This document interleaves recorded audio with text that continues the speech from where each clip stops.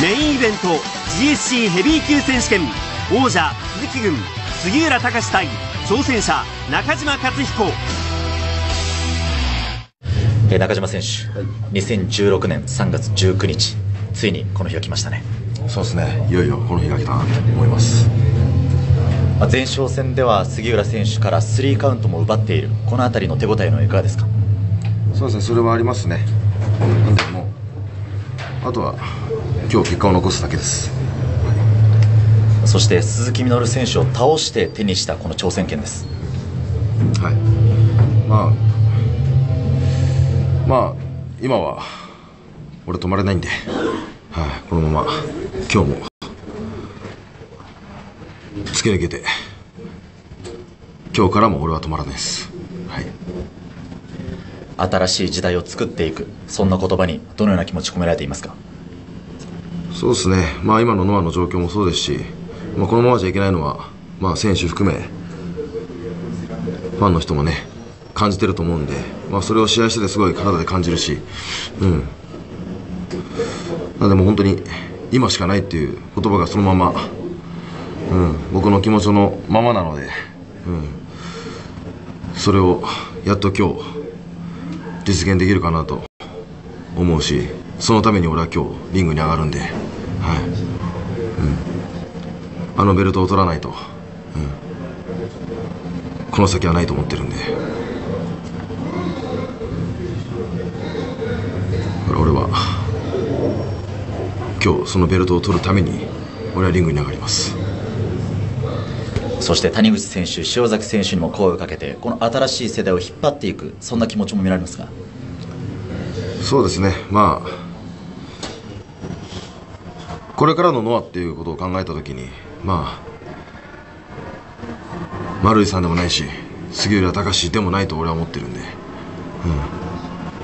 まあ、俺しかり塩崎谷口北宮ジュニアではね、まあ、今日もタイトルマッチしますけどその4人がこのノアを引っ張っていかなきゃいけないなっていうのは感じてると思うんでね。僕だけじゃなく、うん、やっぱ俺ら若い世代がどんどん盛り上げていかないと。これからのはないと思うし、うん。まあ、今日そのきっかけとなればいいなと思うし、うん、俺が大きな波を今日作って一気にノアの箱舟が新たな後悔をできる姿を見せられるように、うん、俺は戦います。15歳でデビューをしてからこれで3度目の GHC ヘビー挑戦です。佐々木健介さんそして北斗晶さんにもいい予告できるといいですね。そうですね。まあ一度も巻いたことがない未知のヘビーのベルトなんでうん。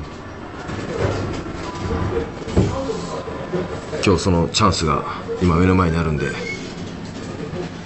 確実にそのベルトを取るためにも、うん、自分自身のためそしてノアのため、うん、全てのために。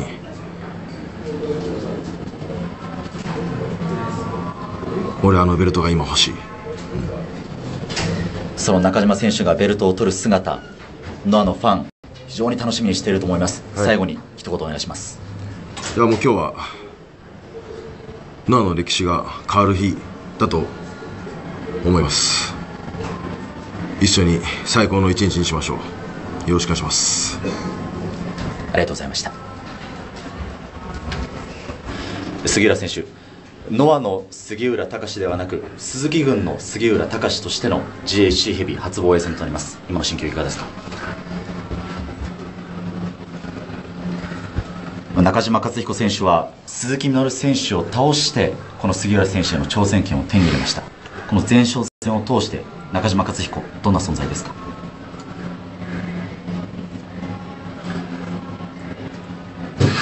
この GHC ヘビーのベルト過去14回その防衛をしています。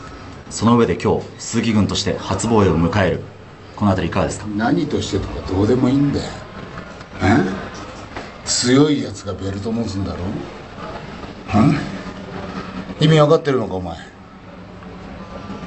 え？強いやつの証だろ？ああ王様の証だ。どこに属してるからどこの誰だからそんなことはどうでもいいんだよ。関係ねえんだよ。どっかの誰かだと戦い方が違うのか。戦う意義が違うのか。あるのは勝つか負けるか。二つに一つそれだけだろ。お前の箱の中で喋るな。お前の物差しで俺たちを測るな。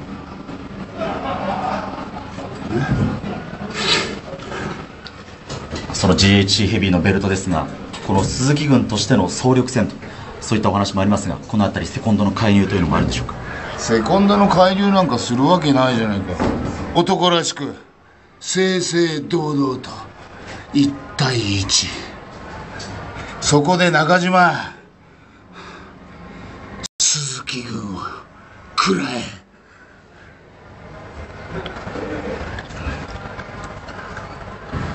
1対1の中でこの鈴木軍をということですか？え？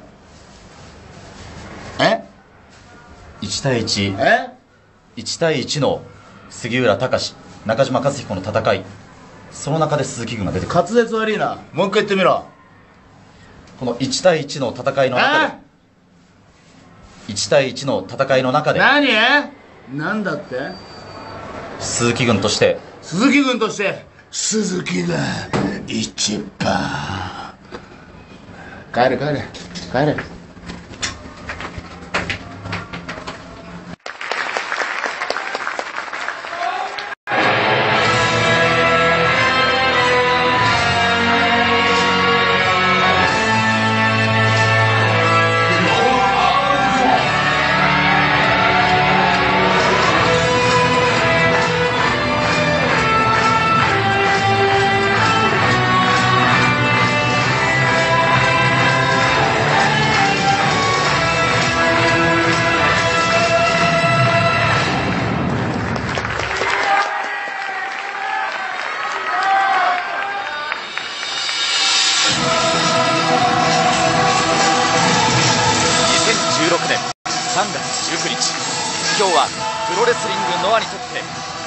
な一日として一生記憶される日になるかもしれません。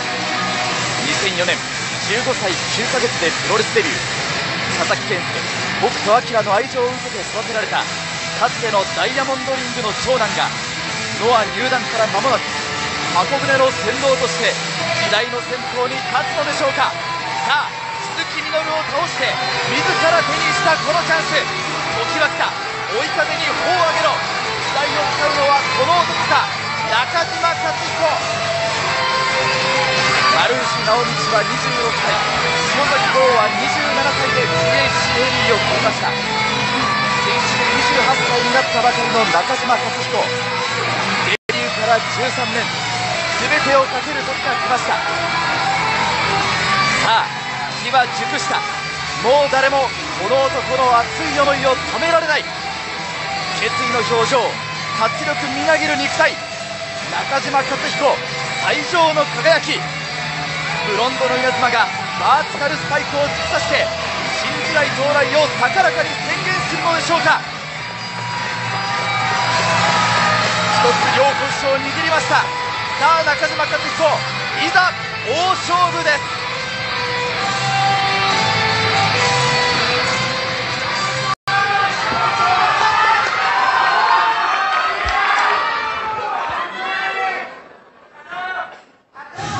第25代 GHC ヘビー王者杉浦隆が入場してまいります。おっとこれは杉浦入場テーマを変更しています。丸藤からベルトを取った横浜から入場テーマを変更していた杉浦がこの後楽園でも新たな姿を見せることになりました。ハッピーエンドが悲鳴とともにバッドエンドに変わった12.23大田区総合体育館大会。丸藤に見舞った決別のオリンピック予選スラム。杉浦は鈴木軍の一員として生きることを自らの意思で選びました。こんなにも人は冷酷な表情をするのでしょうか。こんなにも人は感情を失ってしまうのでしょうか。持ち込んだパイプ椅子を置き感情をなくしたキリングマシーンとして悲しみの花道を歩いてまいりました。杉浦隆今リングインです。中島が新時代幕開けを告げようとするのであれば杉浦が告げるのは暗黒の鈴木軍時代の幕開けか。かつて GHC ヘビーのベルトを巻いたのは三沢光晴、秋山純、小川義則、高山義弘、小橋健太、力王武史、田上彰、丸藤直道、森島武史、佐々木健介、塩崎豪、杉浦隆、健太、永田裕二、鈴木みのるの15人。今日、中島克彦の名が16人目の GHC ヘビー王者として刻まれることになるのでしょうか。この GHC ヘビーのベルトを掴むのは果たして杉浦か中島か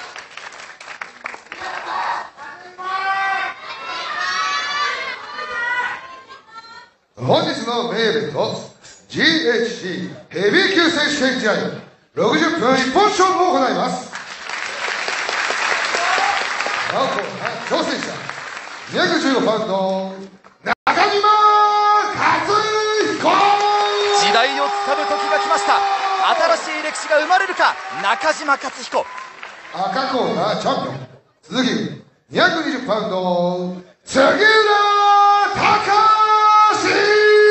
てのノアの強さの象徴が鈴木軍として再びの防衛ロードか杉浦隆。中島克彦3度目の GHC ヘビー挑戦。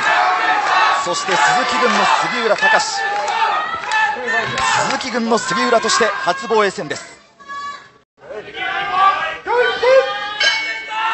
さあ時代はどちらに微笑むのか。3.19後楽園ホール大会メインイベント。GHC ヘビー級選手権試合。まずはリングの中央を睨み合います。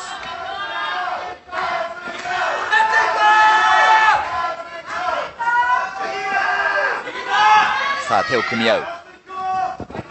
まずは杉浦。ロープへと追い込んでいきます。体を入れ替えた中島。さあ中島。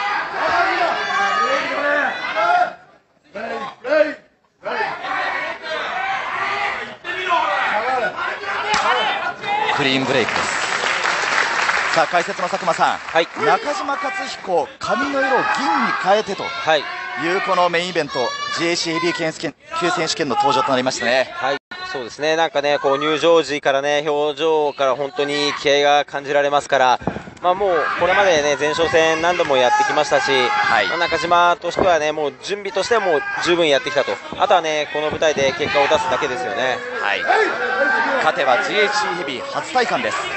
さあ今度は杉浦が。いやクリーンブレークしない。しかしそれは読んでいた。ミドルいや連発さあロープに飛んで膝が待っていた。このキックはかわしました中島やはりこの前哨戦でもお互いに手を合わせている、まあ、そういったところからこの動きの読み合いというはい。序盤戦ですね、そうですね、まあね、お互いこう杉浦はエルボーありますし、中島はキックありますし、相当激しくね、ぶつかり合うことになるのはもう間違いないと思いますよね。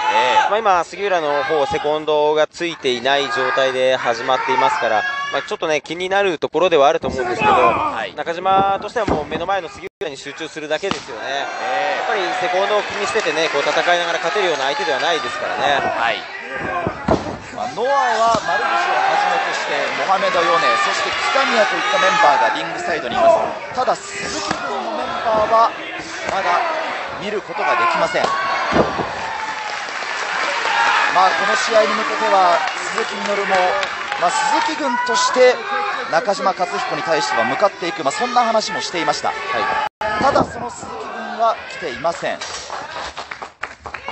まあ、試合途中からの、ね、乱入というのは十分考えられますけど、えただね、こう杉浦の実力をもってすれば、もちろん1対1で戦うことで、もう勝つ力は十分あるわけですから、はい。これあたりというのはね、もう中島はいつ誰が出てくるという心理的動揺を誘われているという可能性も否定できないですからね。そうですか、はい、そのあたりの、まあ、揺さぶりに対して中島克彦、ただここはエプロンサイドから強烈なローを見舞っていきました。場外倒れ込んでいる杉浦隆に対しておっと。構わず踏みつけていきます。3月19日。今日はノアの歴史が変わる日だと話した中島克彦。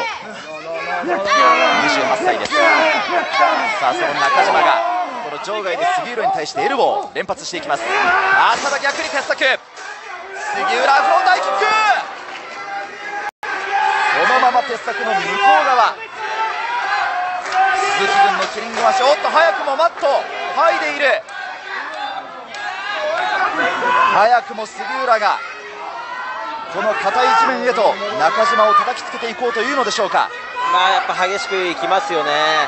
勝ち子もタフですから杉浦としてはもう序盤からどんどん厳しく攻撃を仕掛けていくという狙いですよね。はい。さあその後ロープにかけてここからあーっとそのまま落とした。そこにマットはありません。ダメージが心配です中島克彦。まだ起き上がることはできません。悠々と場外を練り歩く杉浦隆ただその一方中島克彦はまだうずくまったままです。杉浦隆通算最多防衛記録そして最多連続防衛記録14回を持っています。ただそれはノアに所属していた時の記録。第16代王者としての記録です。さあ場外カウントが始まっています。あーこれはかなりダメージが残っています中島。まだ立ち上がることができません。さあカウント13まで入っています。さあ中島。上で待ち受けます。さあセブンティーンまで来た。中島。ここでリングに戻りました。ただ待ち構えていたのは杉浦です。12.23大田区大会で反旗を翻して鈴木軍入り。メインイベントで丸藤に対してオリンピック戦スラムを見舞いました。そして1.31横浜文化体育大文化体育館大会でベルトを奪還しました。4年半ぶりに GH 王者に輝いた杉浦。さあその杉浦がまたしても場外です。中島に対してその銀に染め上げた髪を掴んだ。エルボー。この一発ダメージを負ってますからね、はい、エルボー来ると首で衝撃受け止めるんですけど、ちょっと今、中島の状態だとちょっと厳しそうですよね。あっと、この傑作に対して倒れ込むように、杉浦のエルボーを受けます中島です。この場内からも勝つ飛行という声、非常に多くのノアファンからの声が上がっています。ただ、ここまでは防戦一方の中島。このノアの新世代として新しい歴史を作るための戦いに臨んでいます中島です杉浦と中島のシングルの対決は3年4ヶ月ぶり2012年旭川でグローバルリーグ戦で杉浦と中島の対戦があります。その時には杉浦がフランケンシュタイナーで勝利しています。まあ、ただ佐久間さん、その時は中島は日々転向直後ということもありまして、はい。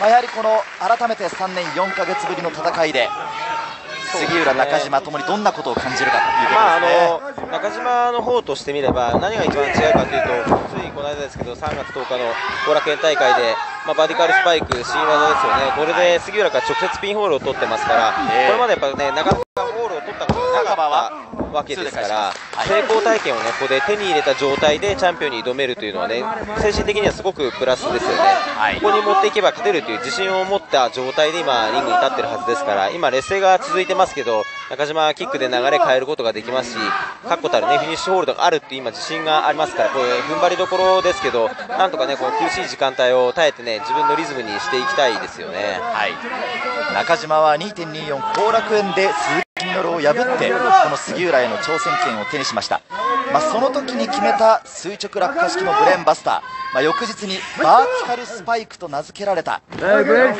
技で鈴木みのるを仕留めてついにこの GHC ヘビーへと上がってきました、まあ、ついにこの腰にベルトを巻く時が来た。バーティカルスパイクが決まれば確実に勝てるそう自信を話している中島克彦です。一つねそういう自信のある武器があるということはね、試合を組み立てる上で軸ができますから、中島にとってはね、今までよりもこう自信を持ってね、臨める試合だと思うんですよね。そのバーティカルスパイクを持ち込みというプレーといけるのでしょうか中島。ただここはスピアッとフロントハイキック。さあここは中島。飛んで読んでいたスピアやはり流れは渡しません杉浦です14度の通算最多防衛記録を持っていますその杉浦4年半ぶりに手にしたこの GH ヘビー王者その称号ですこのねタイトルマッチ慣れという部分でも杉浦の方が上ですからね。はい。でもペースがチャンピオンの方に行きますよね。はい。その杉浦、チャンピオンが攻め立てていきます。下から睨みつける中島。ただその中島を容赦なく蹴り上げていく杉浦。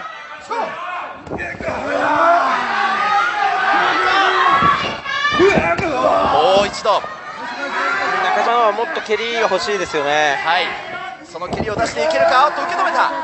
さあここから。中島は持っていったドラゴンスクリューその杉浦の右膝を破壊しに行きました中島です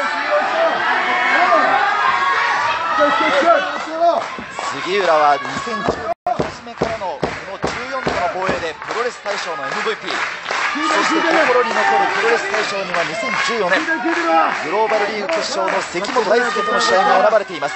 まさに記録にも記憶にも残る最強のプロレスラー。この杉浦隆を超えて新しい時代を作ることができるか中島克彦。さあ雄たけびを上げて左のミドル。いいですね。やっぱこれですよね。中島の武器ですからね。どんどん蹴っていってほしいですね。一発でその後楽園の流れ。会場の空気というものを変えました。さあ中島ここからです。GAC ヘビー挑戦は3度目。健太にも丸藤に対しても取ることができなかったその GHC ヘビーのベルトを杉浦隆から奪うか？ミサイルキック。美しいミサイルキックの胸元捉えました。スターカバーはカウント2です。さあここまでは1対1中島と杉浦。この両者の戦いが繰り広げられています。リングサイドにもノア陣営のみ。介入の様子はありません。さあ持ち上げてバックドロップの体勢。抜いてジャーマンか。いや逆に杉浦です。前に投げていった。投げ捨てていった杉浦。さあそしてここから差し出しのフロンタイキック。たまらず崩れたところ。ここで2バット。ハイピースを持ち込んでの入場となった杉浦ですがここまではまだハイピースも使っていません、ここまでの杉浦の戦いに、まあ、鈴木軍としての杉浦、まあ、そういった部分は見えますか？いや、ないですよね、まあ、いつも通りといったらあれですけどね、もうこれまでの杉浦の戦い、そのままちょっとしたラフはありますけど、激しさというのは杉浦の売りの一つでもありますから、はい。まあ、彼らしく戦っているという今までのここの前半戦ですよね。さあ、そのおっとここから持っていった。高い打点滞空時間の長いブレーンバスターを持っていきました。ここまでは杉浦と中島。まさに男と男。のこの GHC 崇高なる王座をかけての戦いが繰り広げられています。あっとエビ固め。逆エビ固めに持っていきます。リングの中央。がっちりとがっちりですね。勢もね非常にいいです。しポジションもいいのでこれは中島かなりきつそうですね。さあ早くロープブレイク。いけるか？さあプッシュアップの体勢。さあその視線の先。中島を応援する多くのノアファンの前で手に拳を握って自らを鼓舞するように。さあロープブレイクへといけるか？場内勝彦コール。さあ前に出る。前に出る。変えるのもやるのも今しかない。自分の時代は自分で作る。このチャンス逃さないと荒らした中島。ただその中島逃さないのは杉浦隆再びロープでの距離ができました。佐久間さん、捕まる時間なくなっていますね苦しいですね。杉浦の逆指のねこの姿勢非常に安定してるんですよね。はい。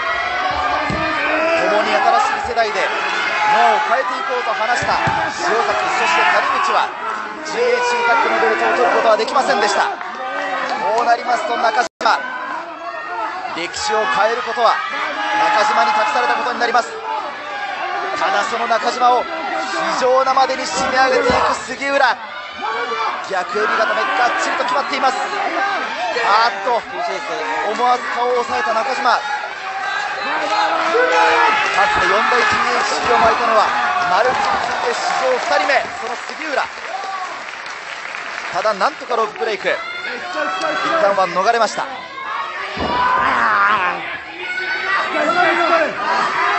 なんとかロープブレイクは果たしたもののダメージが大きい中島です。まだ立ち上がることはできません。その中島に対して。容赦なく上から踏みつけていきます。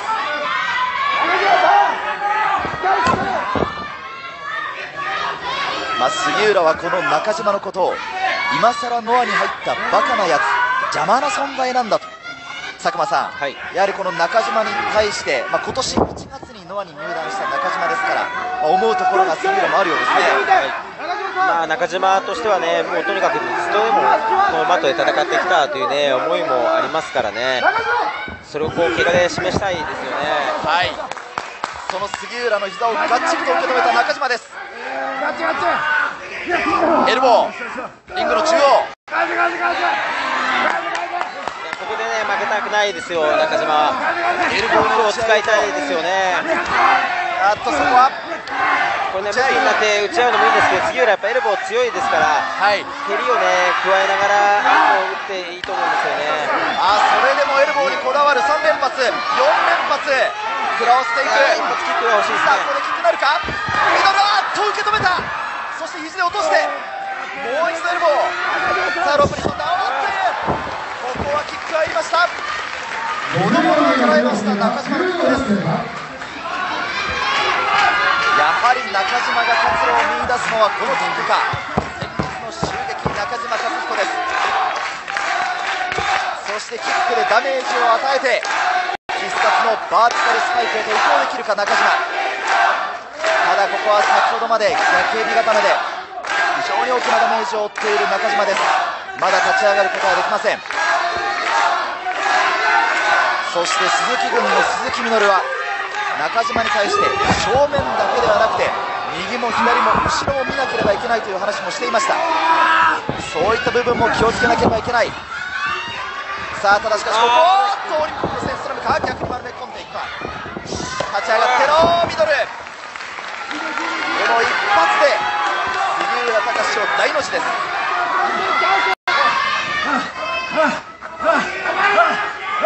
さあここから杉浦を起き上がらせて。ープに飛ぶランニングローしたスピアーは読んでいた。膝を入れました中島です。仕掛けたいですね、ここで。休ませたくないですよね。さあ中島雄たけびを上げて。あと杉浦意識はどうだが確認する。ただお構いなしに。さあここからカルスパイクがあるぞ。行くのか？ちょっと仕掛けが早い気もしますけどね。早くもそのバーティカルスパイクを持っていった。さあそこはどうか？チャンス飛びたか中島。さあカウントは入るか？ソロープブレイク。これはロープの距離が近かった。佐久間さん、はい。仕掛けが早いというお話ありました。そうですね、やっぱり劣勢の流れの中で出したので、フィニッシュに行くというよりもね、こう流れを切るために仕掛けたような感じになってしまったんですよね。はい。ちょっとこの辺りのね仕掛けっていうのはまだタイトルマッチでのね経験の浅さといいますか、杉浦と比べると少しちょっと今のはもったいない使い方だったなという印象ですね。はい、かつて14度の防衛を果たした杉浦に対して中島克彦はベルトを巻いたことはありません。そして GHC ヘビー挑戦という意味でも2013年健太に挑んでそして2014年丸藤に挑んでそれ以来3度目の GHC ヘビー挑戦です。その中島克彦ノア所属として初のとトラストに変わりました。そうこういう蹴りをねもっと使ってから仕掛けたいんですよね。もう一度こうね作り直しですね攻撃に関しては。空手で磨いたトラースキック3連発杉浦が力なく倒れました。これは効いてますからちょっと早く仕掛けたいですね。さあレフェリーが杉浦の意識を確認しますがあ一度中島をコーナーに下げさせます。それほど杉浦のダメージがあるということでしょうか。ただ杉浦起き上がってさあ狙っている。フロントハイそしてあーっと投げていきました。杉浦です。ジャーマン投げっぱなし。いやさん今畳みかけたかったところでしたが、そうですね。やはりここは杉浦隆いや杉浦やっぱこうね流れを切らなきゃいけないところも分かってますよね。はい。その杉浦が投げっぱなしで杉浦に対してダメージを負わせました。さあここからです。あーっとエルボー。あーこの位置で杉浦のエルこれはボー厳しいですね。立ち上がって早く回避したいですよね。さあしかし逆に歯をむき出しにして向かっていこうという中島。その中島に対してなんだお前はというような言葉を浴びせながらのエルボー。そしてキックです。やはり壮絶な打撃戦になります。この両者の戦い思いと思いがぶつかり合います。GHC ヘビあっとなんと安村さん鈴木君です。やはりここで来ました。鈴木君のベンジャミン太一。そして勢もこれしっかり抑えてますよ。あしっかりとここは丸藤をはじめとしてノア勢も抑えています。これは杉浦隆と中島克彦。この2人の正当なる GH ヘビーその戦いにするためにノア勢が鈴木軍の介入を阻止しますただまだ鈴木軍の大将鈴木みのるの姿はありませんそうねですねまあ今ねここまでね熱い試合なので水はさせてほしくないですよねはい。あっとロミーロ完璧に決まりました。さあカウントは2で返した。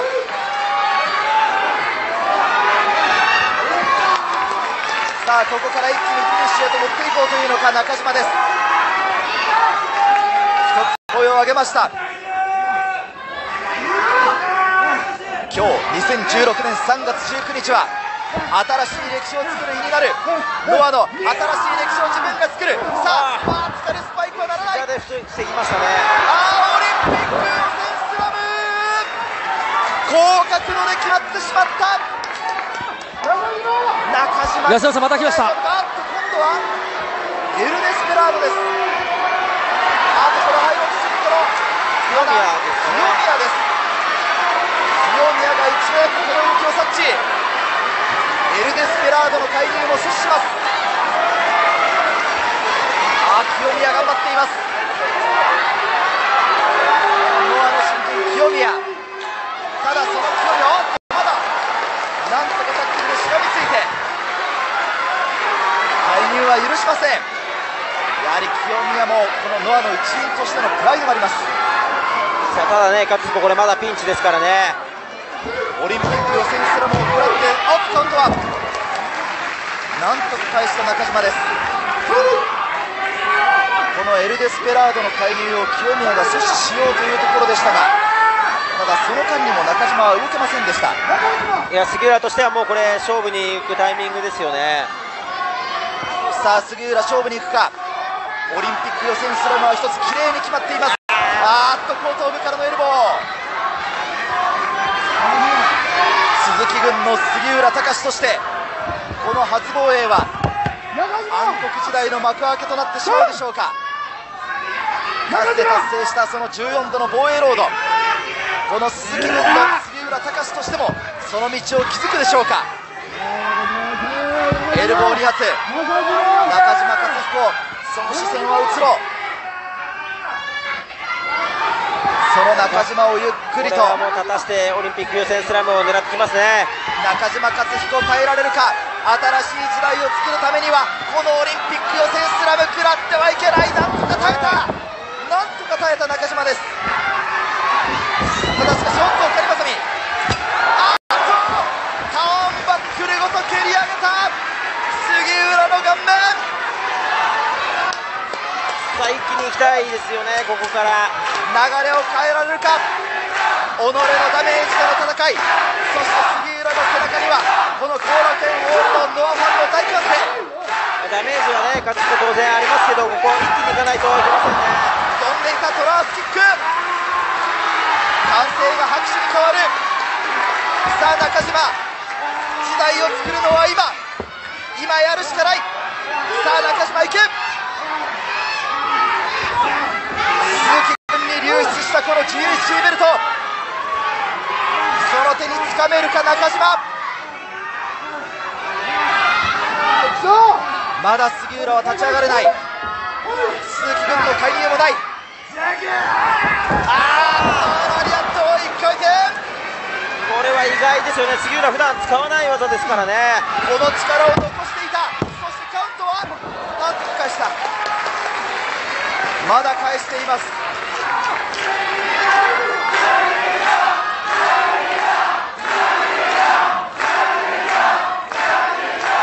そして再びの勝彦コール。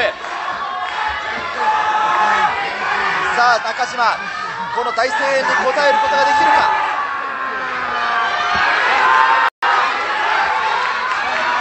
ここからは気力の戦い。中島あっと顔面へのキック。しかしエルボーが返ってくる。もう一度。鈍い音すごい消耗戦になってきましたね。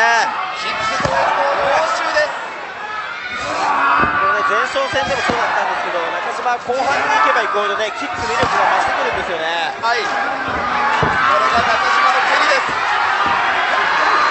威力が増してきたそのキックたまらず一歩下がった杉浦。あーっと威力が増していく。中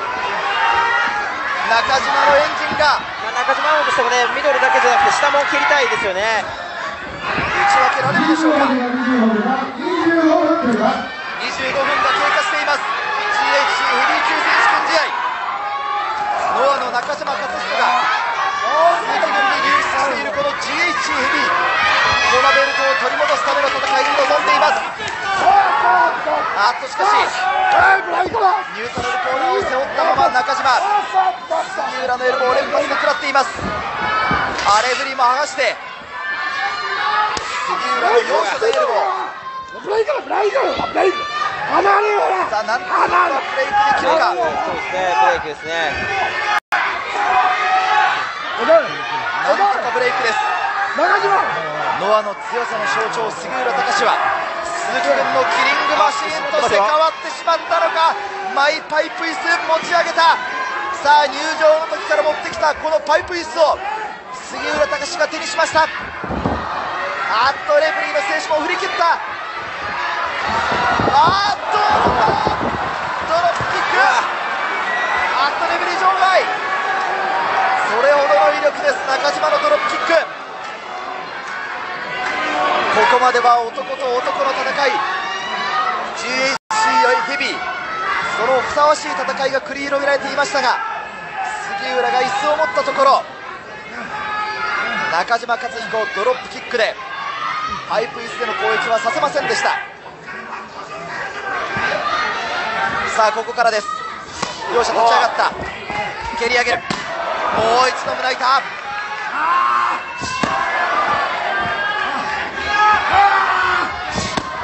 連発強烈ですよ。どうしたうわ張り手ナックルですかね。ナックルです思わずわーっとそして今度は張り手右左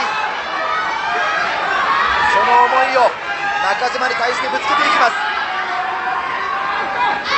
このベルトを求めて鈴木軍へとパンチを翻しましたあしですね、前から倒れた、モンゴリ打って倒れました。レフリーはいません。あっと、これ、鈴木みのる、鈴木みのるが入ってきた。やはりこの戦い、鈴木みの介入、あっと、振り下ろしたフルスイング。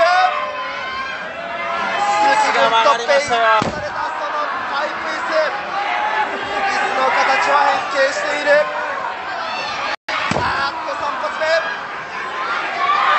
まだ手にしている。これでは収まらない。さああまりに危険すぎる。無慈悲すぎる。杉浦隆ノアのリングで共に戦ったこともあるこの中島。アレムに戻ってきてカウントは2で返したただその返した後頭部には赤い線が見えてますよねフルスイングしたそのパイプ椅子が中島の後頭部をかち割りましたいや佐久間さん、はいここから中島どう返していけばいいですかいやそうですねもうちょっと一旦流れ切りたいです大流血ですね苦しいです介入してね。あそして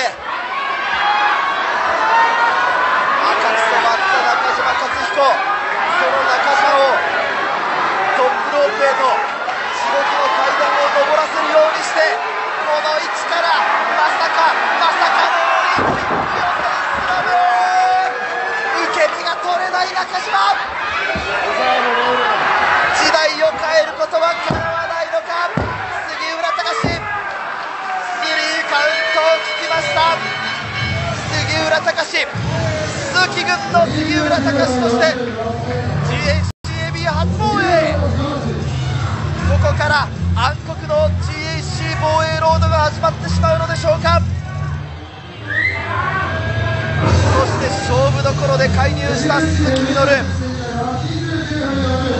敵に舌を出しながらこの中島を転がして敗者はさっさとされそう言わんばかりに中島を場外へと送り出しました。そして場内。本来はこうして座るべきはずのパイプ椅子第25代 GHC ヘビー王者杉浦隆が悠々とリング中央座っています。鈴木がマイクを持った。おい中島。これが鈴木軍だ。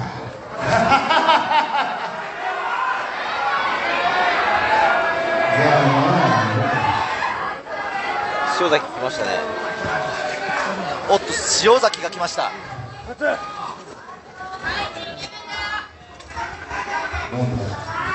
なんだ丸藤。なんだ北宮その顔は。ああ。おいおいおいおい。神聖なるリングに土足で入るんじゃねえ中にいていいのはな俺たち王様だけなんださ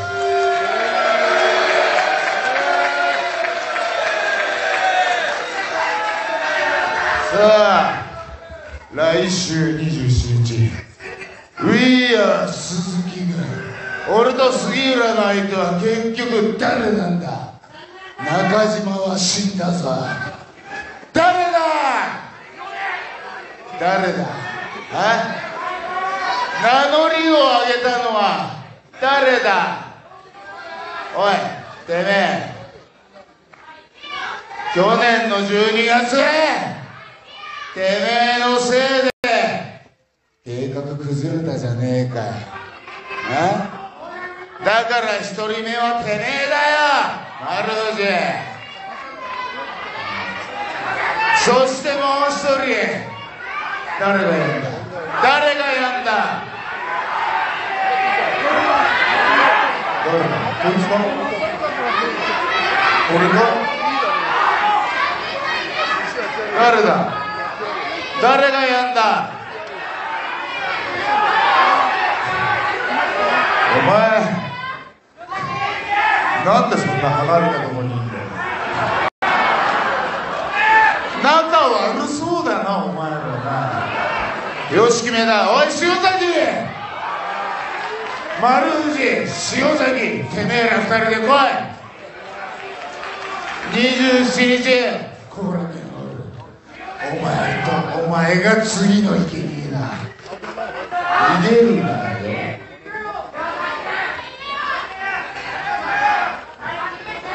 はい帰れ。